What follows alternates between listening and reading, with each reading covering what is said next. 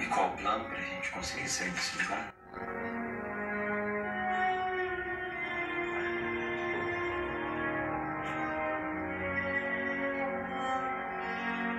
Esperar. Eu vou dar uma melhor na casa do Sr. Potifar.